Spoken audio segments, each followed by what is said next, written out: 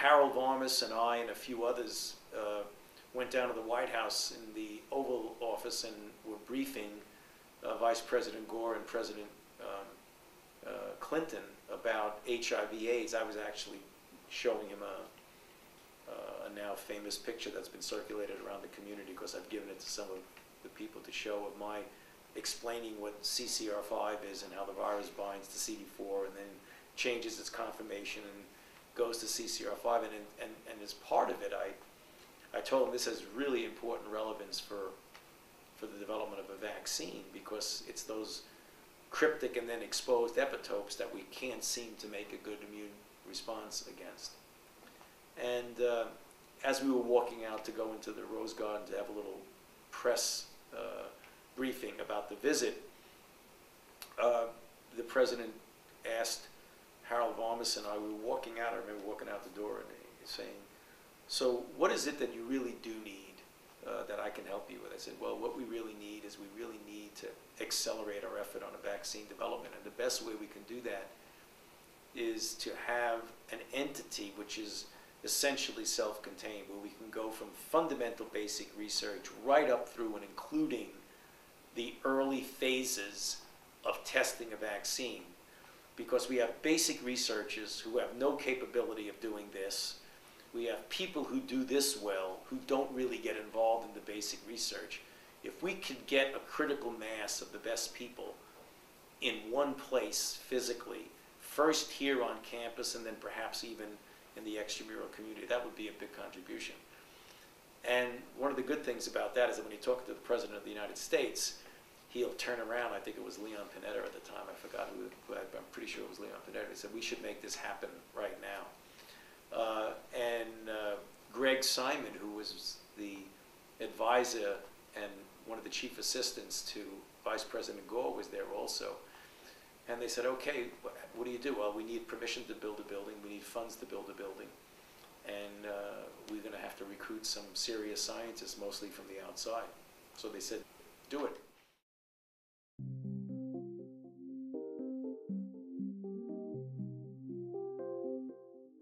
CHAVI came about actually, we had that uh, first meeting of what ultimately became the HIV vaccine enterprise that Rick Klausner and I and Larry Corey and a bunch of people were involved with when we met in uh, Airlie House, I believe it was, in Virginia, in, uh, uh, to get people in the field and outside of the field together to talk about the fact that we need to rethink what we're doing with vaccine. And again, was this ever progressive realization that there's so much discovery that needs to be done.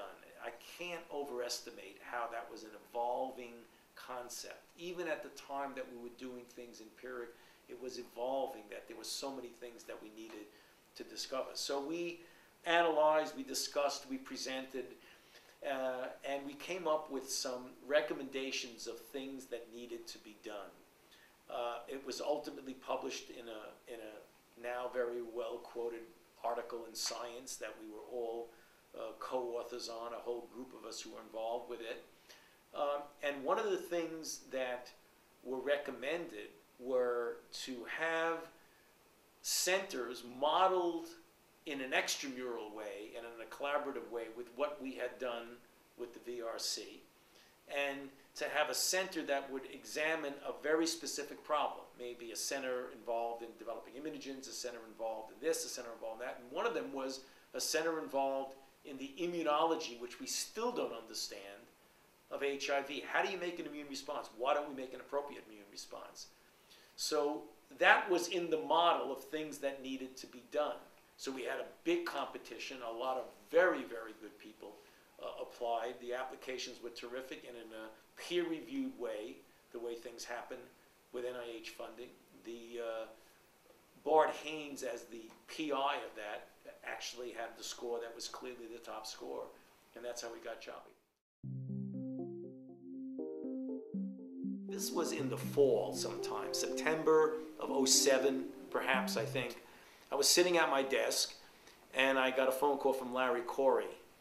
Uh, and Larry he sounded like he had been hit by six trucks. He, I've never heard him sound so badly. He says, Tony, you're not going to believe what I'm going to tell you. And I said, well, try me, and he did. He said, there's nothing there. There's not even a hint or a whiff of any effect on the set point. And besides, brace yourself, it looks like there may even be an increased risk among some of the people, particularly those with high adenovirus titers. And we hadn't even gotten into the circumcised versus uncircumcised because the data had not been analyzed. So Larry was the first one to tell me, and he was really very down about it, saying, I can't believe the first look and it didn't work. This is terrible.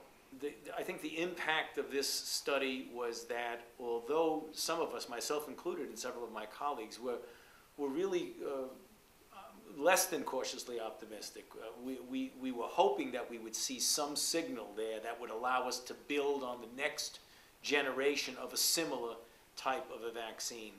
We didn't expect on the first look at the data, essentially abject lack of success, as well as the specter of a risk associated with people who have a certain background, namely antibody background. So that was sobering, to say the least.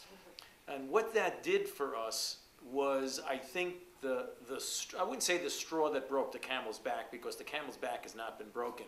It was that which pushed us to the point of saying, time out, folks. We don't know why very few people develop robust responses of neutralizing antibody, and we don't know why the immune system is incapable of mounting a response that with most any other virus would ultimately be protective. So what we did after the STEP study was saying what we've really got to do, and we did this at a meeting that was held in March of 2008, right outside of Bethesda at the NIH, where we brought in a group of people who were involved in the field, who had really been laboring at this for some time, as well as some newer people with new ideas. And we said, and I got up when I gave the in, in introduction and says, we're going to turn the knob now not that we're going to stop doing vaccine research, because there were some people who inappropriately were saying, this is it, we might as well not do any vaccine research, which was beyond inappropriate. That's the absolute wrong response. The right response is to continue to do research, but to do it with a different frame of mind. And that is to turn the knob from development back to discovery.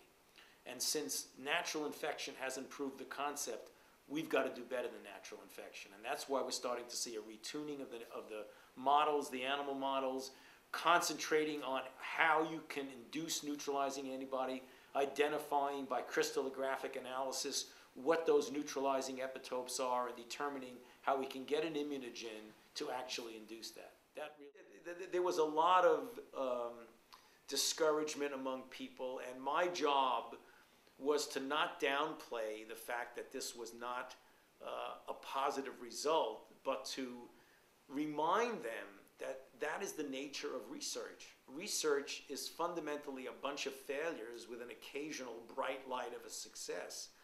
So that's not necessarily something that's surprising for someone who's done research all their life. Every year that goes by, 2.7 million people get infected. So there's a lot of a passion in wanting to do something about it, particularly in the arena of prevention. I would say that people ask me, are you down? Are you really depressed about this result? And I look at them and say, what are you talking about depressed? This is not an emotional issue. This is science. It's strictly business. It's nothing personal. So I don't get depressed about it. I say, where do we go from here?